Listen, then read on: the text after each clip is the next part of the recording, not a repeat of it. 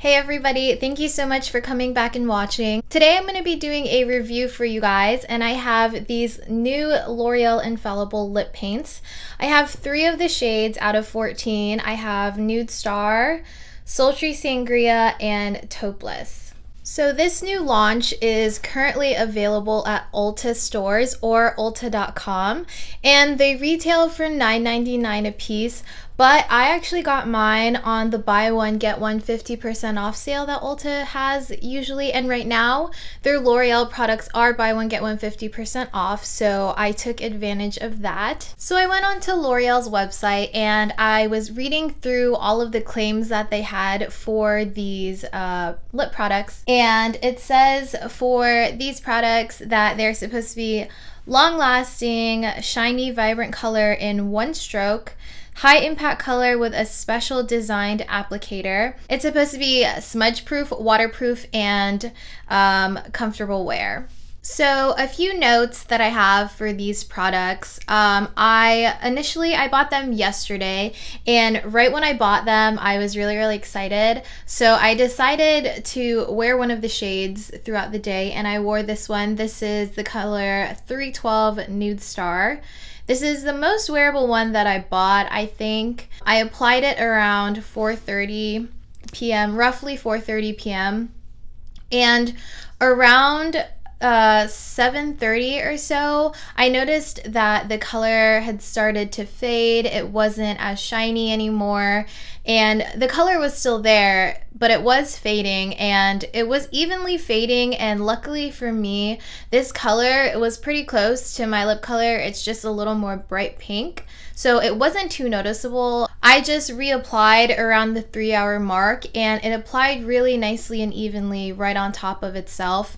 And then I went about my day and around, I want to say, uh, midnight, I finally got home and I looked at it. And again, the color is pretty much gone at that point. It had a little bit of shine on my lips, but nothing too high impact. I did eat and drink throughout that time period, and I did notice after eating and drinking that the color did fade quite a bit. I wouldn't say that it's really smudge proof or waterproof. I don't really know why it says that it's smudge proof because obviously like if you can see it here right now it's more like a gloss and it doesn't ever dry down matte when i think of a lipstick or lip color being smudge proof, I think of it as like completely matte. So this wears more like a gloss. So the claim about them being um, high impact in one stroke.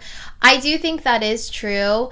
I really only need to apply one coat of the lip color, and I feel like it completely covers my lips really well.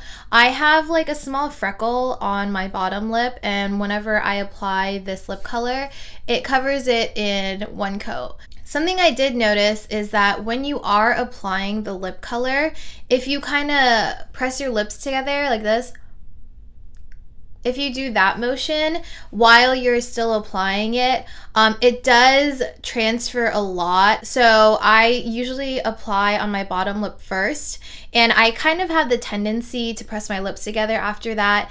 Um, and you lose basically all the pigment on your bottom lip. So what I do with this lip color is I apply it to my top and my bottom lips completely, just do one whole coat of it.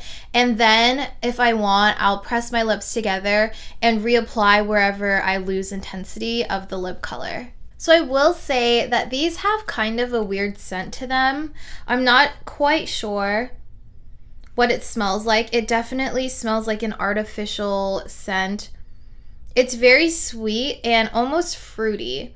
It just has that kind of weird scent to it, but it doesn't linger. Uh, right now, I don't really smell it at all. It's just whenever you open up the tube and like take a little whiff of it. I'm not super sensitive to scents, so um, yeah, it doesn't really bother me too much. Now, like I said, they do come in 14 shades. Um, I feel like I bought some of the most wearable ones other than just like the bright red one.